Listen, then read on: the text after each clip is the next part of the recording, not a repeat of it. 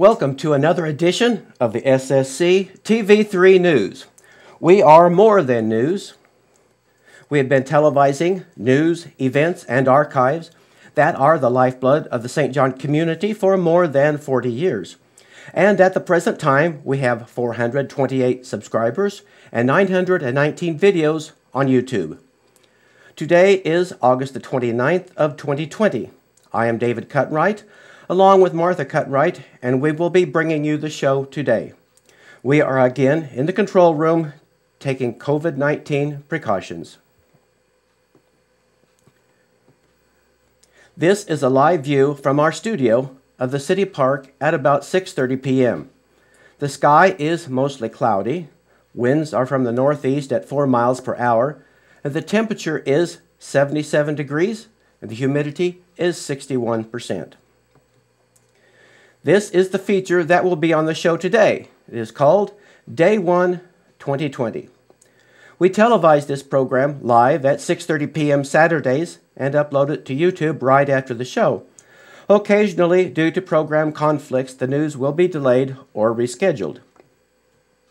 If you missed the show, you can still watch it at your convenience at ssctv3.org. Please share our news, features, and programming on your social media. This will help us grow and enable us to serve you better. We also welcome press releases. Just bring them by the studio or send them to ssctv3 at gmail.com. Also, if you would like to be a sponsor of our news or governmental telecast, send your request to ssctv3 at gmail.com and we will set you up. Your advertisement will run on the governmental telecast, the TV3 News, and the TV3 Bulletin Board, which runs 24 hours a day, 7 days a week. Here now are some of our sponsors. Please let them know that you appreciate their support of our local news.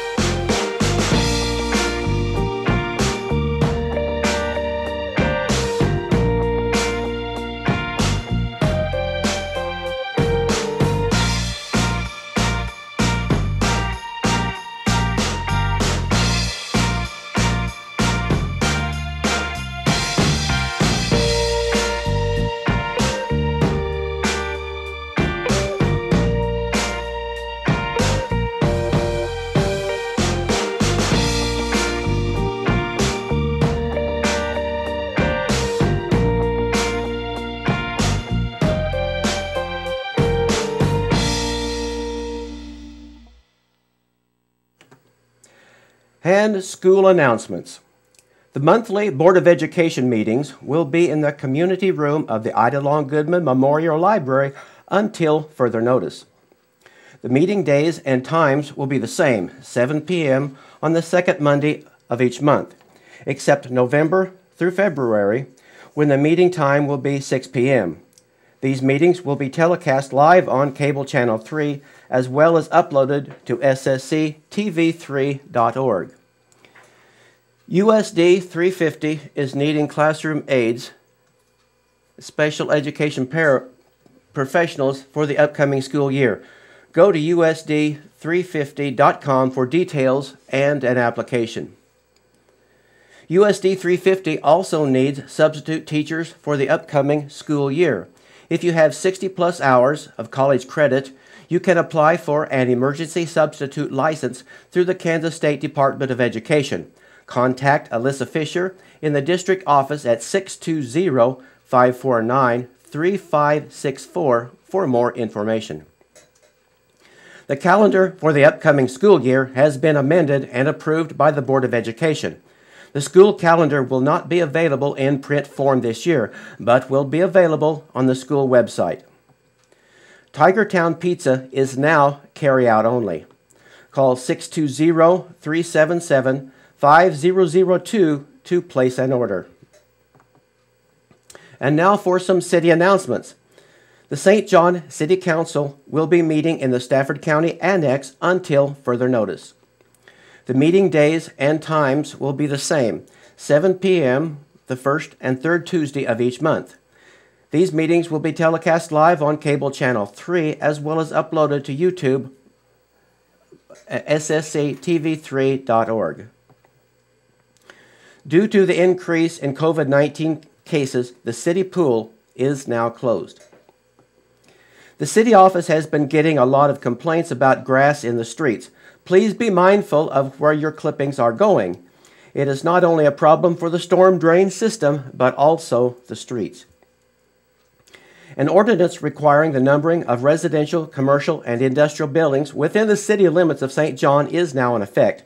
If you have not yet received your numbers, contact City Hall at 620 549 3208. Citizens may pick up a copy of the complete ordinance at the city office or view it online on the City of St. John's Facebook page. The city office is now open to the public. There is a limit, however, of one person at a time in the office. Please stay at least six feet away from the employees. If you have symptoms, do not enter the office. And face masks are required. In the event of a tornado, the community room of the Ida Long Goodman Memorial Library, located at 4th and Monroe, is a designated shelter. If you bring pets, bring them in carriers. Now, some around the square announcements. The car show would have taken place today. Maybe things will be back to normal next year and the car show will take place as planned. And some county announcements. The Stafford County Commissioners will be meeting in the Stafford County Annex until further notice. The meeting days and times will be the same, 8:30 each Wednesday morning. These meetings will not be televised live, but will be recorded and uploaded to ssctv3.org. The Stafford County Economic Development has moved to 311 North Broadway. It no longer has offices in the Stafford County Annex. The Stafford County COVID 19 update. As of Friday, August the 28th, there were 53 active quarantine isolation orders. There are now 15 active positive cases, and there has been one death. The total positive cases to date is 35. Updates will be posted every Monday, Wednesday, and Friday on the Stafford County Health Department website and Facebook page. Here now are more of our sponsors. Please let them know that you appreciate the support of our local news.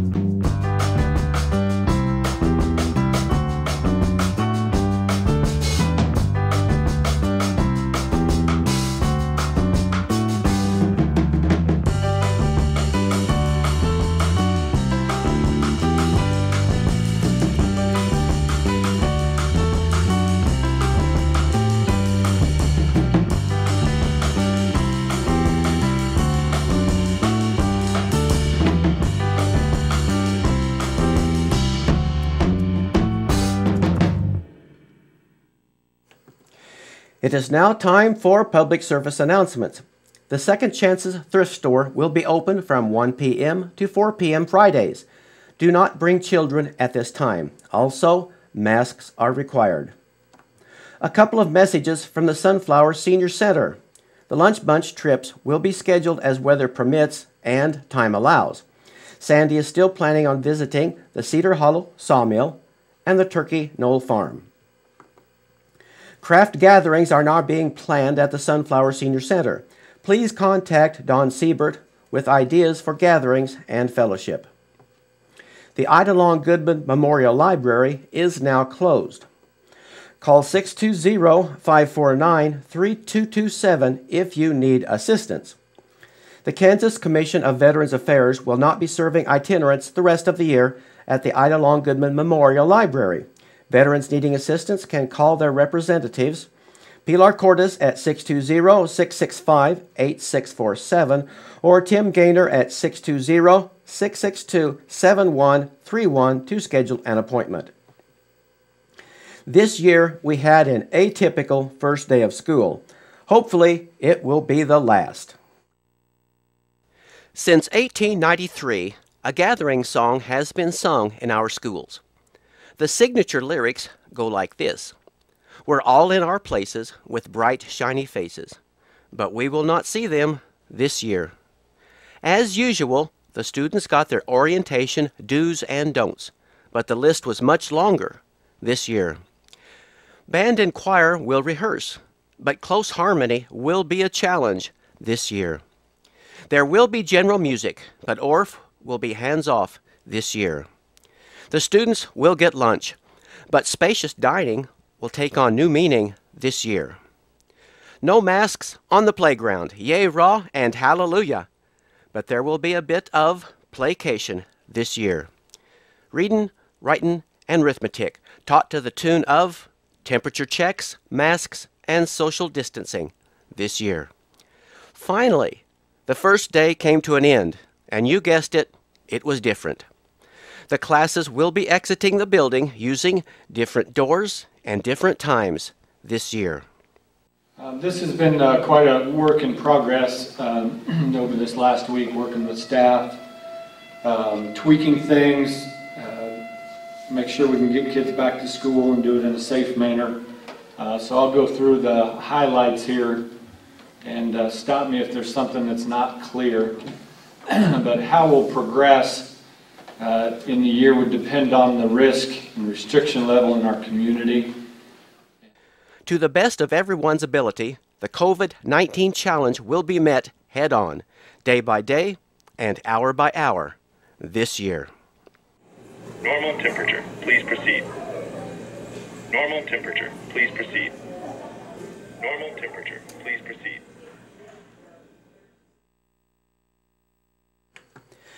Please help our channel better serve you with quality and informative programming. We have a lot of good stuff happening in our area, and it is our goal to bring these activities to those who cannot attend. Many days there are no events to cover, but there are days that have two or three events to cover at the same time, and we cannot get to all of them. If you would like to help, please contact us. We will even supply the camcorder and show you how to use the video editing computer. Also, if you have items that need to be announced on TV3 or you have an event that would benefit from video coverage, we would like to hear from you. Please contact us by emailing ssctv3 at gmail.com or by calling 620-253-0037. Give us a little notice and we will be there. Also, do not forget that the TV3 bulletin board is available for classified advertising. Your ad will run 24 7 on the local cable system as well as the SSC TV3 YouTube channel. Join us again next Saturday evening at 6:30 p.m. for another edition of the TV3 News. All of us at SSC TV3 wish you a happy, healthy, and safe weekend. Keep us informed, and we will keep you informed. Thank you for watching, and God help the USA.